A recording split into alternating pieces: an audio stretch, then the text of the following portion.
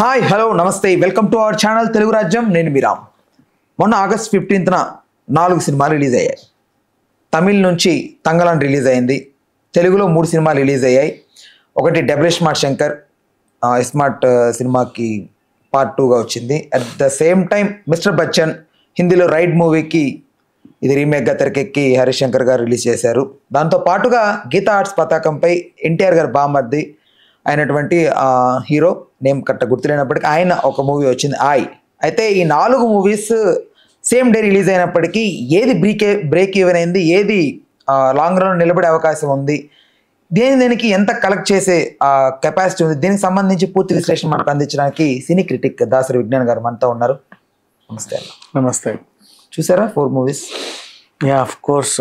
ఆయి ఒకటి చూడలే నేను అంతే. మిగతా అవన్నీ చూసా బట్ దాని టాక్ తెలిసింది. సో ఇకపోతే ఈ వారం రిలీజ్ అయిన అన్ని సినిమాల్లో యాక్చువల్గా అందరూ వెళ్తున్నారు ఆయికి. అదే. అది కొంచెం యూత్ ఎంటర్టైనింగ్గా ఉంది సరదాగా ఉంది. అర్థమయ్యేలా ఉంది అందరు కలిసి చూడడానికి వెళ్తున్నారని తెలిసింది.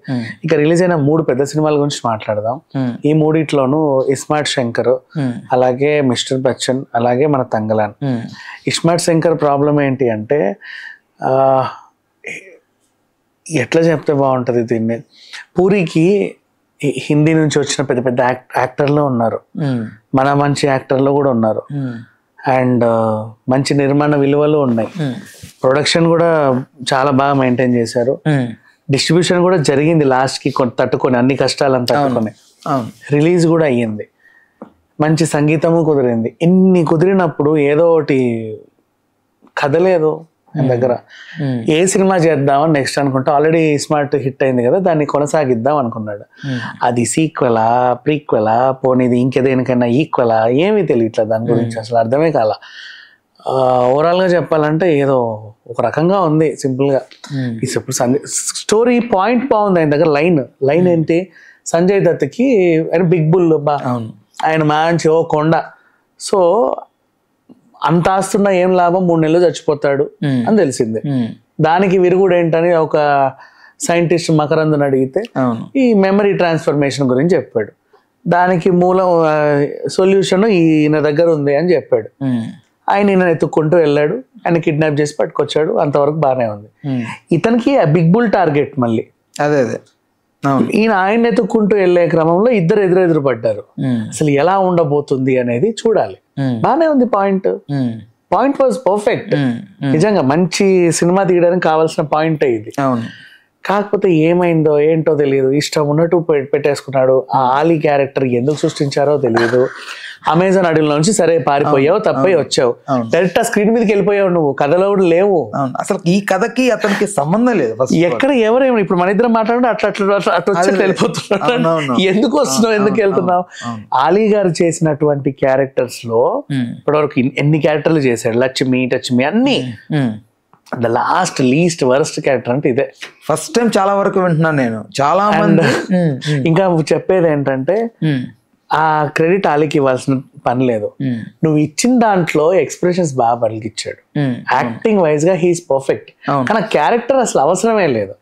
ఇక నెక్స్ట్ రా ఏజెన్సీ గురించి ఎన్ని సినిమాల్లో చూసావు నువ్వు? ఉమ్, చాలా బేసిక్గా పోనీ అడవి చేసిన ఎవరైనా సరే హిట్ సిరీస్ తీసుకున్నా. రా ఏజెన్సీ అంటే ప్రతి సినిమాలో అసలు ఎలా ఉంటది? మన పోలీస్ శాఖ కంటే ఇంకా ఆ శాఖ కంటే సిఐడి కంటే ఓ రేంజ్ లెవెల్లో చూస్తాం వాళ్ళని. ఇక్కడ రా నిజంగా రా ఆఫీసర్ కానీ రా ఏజెంట్ కానీ ఎవరైనా సరే ఈ సినిమా చూస్తే అయితే వీ- పూరినన్నా చంపేస్తారు లేదా వాళ్ళన్నా చచ్చిపోతారు. చచ్చిపోతారు వాళ్ళు. వెంటనే ఇట్లా ఆత్మహత్య చేసేసుకుంటారు. నాకు అమ్మో ఇంత ఇన్నెలు ఇలా బతికాము మేము అని. చాలా సింపుల్గా జెప్టో డెలివరీ బాయ్స్ లా ఉన్నారు వాళ్ళంతా. సీరియస్లీ. అలా పోయి అలా అలా- అలా అని వాళ్ళని చీప్ చేయట్లేదు. నేను అంటే ఐ మీన్ లైక్ ఎలా పెట్టాలో అలా పెట్టలా. సింపుల్గా చెప్పాలి అంటే. ఒక రకంగా ఉన్నారు. వాళ్ళ ఆఫీసర్లు ఏంటో వాళ్ళు ఏం చేస్తున్నారో తెలియట్లా. షయాజీ షిండేని ఇంకోటి మళ్ళీ అప్రిషియేట్ చేయాల్సిన విషయం ఏంటంటే నువ్వు సంజయ్ దత్ అలాంటి వాళ్ళని తీసుకుంటే మన తెలుగు వాళ్ళు ఎవరు షయాజీ షిండేని పెట్టుకోవాలి ఇవాళ రేపు. ఉమ్, నిజంగా. అంటే ఆయన అయింది అయిపోయింది కదా అయింది అన్నట్టు ఉంటది. కానీ నువ్వు షయాజీకి లైఫ్ ఇవ్వాలనుకున్నావు. మళ్ళీ సంజయ్ దత్తో సమానంగా ఇట్లా షయాజీ షిండేని మళ్ళీ లైఫ్ ఇచ్చి ఇంకొన్నాళ్ళు బతికిద్దాం అనుకున్నాం ఉమ్, నీ థాట్ బాగుంది. ఉమ్, ఆయన ఎంచుకోవడం కూడా చాలా బాగుంది. ఉమ్, అలాంటప్పుడు ఆయనకు క్యారెక్టర్ ఇవ్వచ్చు కదా. పెట్టుకుంటే సరిపోయిందా? ఆ పాత్ర ఏదో ఎందుకుందో తెలియదు. తల్లి పోనీ ఇంకో యాంగిల్ ఆలోచించావు. తల్లి సెంటిమెంట్ నాకు బాగా వర్కౌట్ అవుతుంది అనిపించింది. నీ తల్లి సెంటిమెంట్ నీ లైగర్ కొంపం ఉంచింది అవునా? మళ్ళీ ఇక్కడ పోచమ్మ క్యారెక్టర్ని మళ్ళీ ఆ విలన్కి అటాచ్ చేసి సంజయ్ దత్కి అటాచ్ చేసి ఏదో చెప్పాలనుకున్నాం దాంట్లో మళ్ళీ ప్రగతి వస్తుంది. ఎందుకు వచ్చిందో మా పెద్ద ఆవిడ తెలియదు మహాతల్లి ఏమో అయిపోయింది అబ్బా అలా అలా అలా గడిచిపోయింది సినిమా అంతా కూడా. ఎవరు ఎందుకు వస్తున్నారో తెలియదు ఎందుకు పోతున్నారో తెలియదు ఏం చేస్తున్నారో తెలియదు ఒక క్యారెక్టర్ మళ్ళీ ఇక్కడ విచిత్రం ఏంటంటే హిందీ నుంచి తెచ్చుకున్న సంజయ్ దత్ కానీ బానీ బానీ జే కానీ అందరూ ఎంత బాగా చేశారు తెలుసా? జమ్స్ లాగా యాక్ట్ చేశారు. మరి తెలుగు వాళ్ళకి అక్కడ పర్ఫార్మెన్స్ స్కోప్ లేదు. అంటే వీళ్ళు చేయలేరని కాదు. డైరెక్టర్ ఇవ్వాల. ఆ క్యారెక్టర్లకి అంత డెప్త్ ఇవ్వాల ఇంపార్టెన్స్ ఇవ్వాల? ఇంకా కామెడీ గురించి మనం ఇక మాట్లాడుకోకపోవడమే బెస్ట్. అలీ గారికి ఏదో ఇవ్వాలి కదా ఈ మూవీలో క్యారెక్టర్ అన్నట్లుగా మీరు ఇంత సంజయ్ చెప్పినట్టు శివాజీ షిండే చెప్పినట్టు అట్లా ఇరికిచ్చినట్లు ఉంది తప్ప అసలు ఆ కథకి ఈ కథకి సంబంధం లేదు. ఉత్తేజ్ గారు పోలీస్ గెటప్ వేసారంటే దానికి రీజన్ లేదు. దేనికి ఏది లేదు యాక్చువల్గా చెప్పాలంటే అలా అలా అలా అయిపోయింది సినిమా. ఫాస్ట్ ఫాస్ట్ ఎమోషన్స్ మూవీ అయితే వెళ్ళిపోయి ఏదో చూపెట్టాలంటే చూపెడుతున్నారు. ఇంకొక పాయింట్ గుర్తుపెట్టుకోవాలి. రమ్యకృష్ణ లాంటి ఆవిడ్ని అంట పెద్ద శివగామి తర్వాత నీ దగ్గర యాక్ట్ చేయడమే నీకు చాలా పెద్ద విషయం. సర్వనాశనం చేసి పెట్టావు లైగర్తో. గొంతు ఎందుకు అరుస్తుందో అర్థం కాదు ఆ గొంతు వేసుకొని. ఇప్పుడు కూడా ఝాన్సీ సలార్లో ఝాన్సీని చూసిన తర్వాత ఏ లెవెల్లో ఉంది అసలు? ఆ లెవెల్లో ఝాన్సీని చూసిన తర్వాత నెక్స్ట్ నీ దగ్గరకు మళ్ళీ వచ్చింది. అప్పుడు నువ్వు ఎలా చూపించాలి ఆవిడ్ని? మళ్ళీ ఆవిడని కూడా డ్యామేజ్ చేసి పెట్టావు. ఉమ్, అంటే ఏంటో మరి ఒక రకంగా తయారైపోయింది. ఓకే. నీ దగ్గర చార్మి ఉంది. చార్మిని కూడా పెట్టుకొని చేయొచ్చుగా. ఒక సినిమా ఏముంది తప్పే ఉంది. వైకాంట్ షీడు అనే క్యారెక్టర్. మిస్టర్ బొంత. నెక్స్ట్గా మిస్టర్ బచ్చన్ విషయానికి వస్తే ఉమ్, ఇందులో ఓ క్యారెక్టర్ ఏమో అమితాబ్ బచ్చన్ పాటలు అంటే ఇష్టం ఇంకో క్యారెక్టర్కి ఏమో కుమార్ సాను పాటలు అంటే ఇష్టం ఇంకో క్యారెక్టర్ కిషోర్ పాటలు అంటే ఇష్టం ఇంకో క్యారెక్టర్కి ఏమో ఘంటసాల పాటలు అంటే ఇష్టం. ప్రతి క్యారెక్టర్ అయితే పాటలు పాడుకుంటూనో లేకపోతే పాటలు వింటూనో గడిపేస్తా గడిపేస్తా గడిపేస్తే సినిమా అయిపోయింది. అంతే. అదేం సినిమా మరి అర్థం కాల? నీకు ఇప్పుడు ఇప్పుడు కనీసం పూరి జగన్నాథ్ గురించి అని ఇంత మాట్లాడుకున్నావు. ఐ అప్రిషియేట్ హిమ్ బికాజ్ ఏదో ఒకటి కథ ఉన్నా లేకున్నా నీ సొంత తెలివితో ఆలోచించావు. హరీష్ శంకర్ గురించి మాట్లాడుకోవాలి ప్రత్యేకంగా. నీకేం చెప్పాడు? పలానా రైడ్ సినిమా ఉంది. పలానా రైడ్ సినిమాని రీమేక్ చేయండి అని చెప్పావు. అంటే ఆల్రెడీ ఒక సినిమా చూపించి నీకు రీమేక్ చేయమని చెప్పావు. ఉన్నది ఉన్నట్టు దించిన సినిమా ఆడుద్ది కదా. నీ తెలివితేటలు ఎందుకు దీంట్లో? దానికి నీకు ఇంక ఎగ్జాంపుల్ ఏంటి? దృశ్యం. జీతు జోసఫ్ తీశాడు శ్రీప్రియకి అప్పచెప్పాడు. ఉమ్, ఉన్నది ఉన్నట్టు తీయమ్మా అని. ఉమ్, తీసింది చూసాం కదా? ఆడింది. యాజ్ ఇట్ ఈస్ అయితే ఉన్నది ఉన్నట్టు తీయి. లేదా నీ సొంత కథ ఏమన్నా ఉంటే తీ ఉమ్. నీ సొంత కథ నువ్వు బాగా లేకుండా విల్ అప్రిషియేట్ అదే ఏదో ఆలోచించాడు బట్ ఏదో అయిపోయిందిలే అనుకుంటాం. బట్ గబ్బర్ సింగ్ మాత్రం ఆడింది కదా అనేది అతని కాన్ఫిడెన్స్ కూడా. ఆ, అయ్యో రామచంద్ర కాన్ఫిడెన్స్ అంటే ఒకటాడితే అన్ని ఆడాలా? ఇప్పుడు ఇక్కడ ఏం చేసావు నువ్వు? ఆ కాన్సెప్ట్ ఏంటి ఇక్కడ? అది సీరియస్ డ్రామా. ఉమ్, ఆ రైడ్ ఐటీ రైడ్స్లో జరిగేటువంటి ఆ ఆర్థిక నేరం గురించి వాళ్ళు బాగా ఫోకస్ చేసినటువంటి సినిమా. నువ్వు దాన్ని పక్కన పెట్టి ఈ కుప్పిగంతులన్నీ వేపించి నల్లంచు తెల్ల చీర గిల్లంచు ఇవన్నీ ఎందుకు? నెక్స్ట్ ఇంకోటి నువ్వేం చేసావు మార్పు? అక్కడ భార్య ఆవిడ. ఇక్కడ నువ్వు ప్రేసింగ్ చేసావు.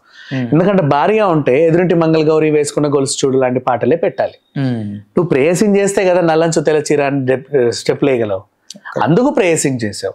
నెక్స్ట్ భార్యగా ఉంటే హీరో బాధ్యతగా ఉండాలి. ఉమ్, ప్రేయసి అయితే నువ్వేమన్నా చేసుకోవచ్చు హీరో. ఆ పిల్లని ఇంప్రెస్ చేయడానికో లేకపోతే నువ్వేమన్నా ఎగరడానికో గెంతడానికో. ఇలా చేసావు.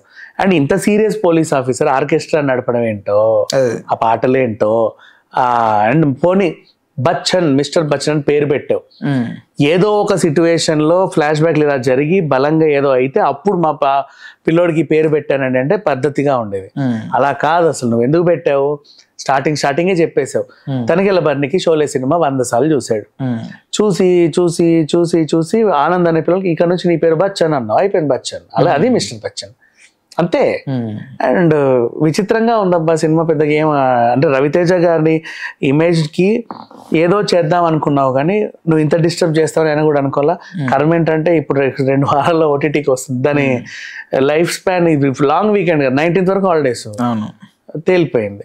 అండ్ ఇకపోతే ఇప్పుడు ఇవన్నీ గురించి మాట్లాడుకున్నా ఆయన ఏం చూడలేదు బట్ చెప్పే వాళ్ళు బాగుందని చెప్తున్నారు. అదొకటి అయితే ఈ ఈ మూవీకి సంబంధించి ఇప్పుడు అందరూ భయపడుతుంది ఏంటంటే తొందరలో రాబోతున్న పవన్ కళ్యాణ్ గారి చిత్రం ఉస్తాద్ భగత్ సింగ్. ఈ దీని రిజల్ట్ బట్టి అందరూ అది ఎలా ఉండబోతుందని భయపడిపోతున్నారు. బికాస్ అది కూడా రీమేక్ కాబట్టి.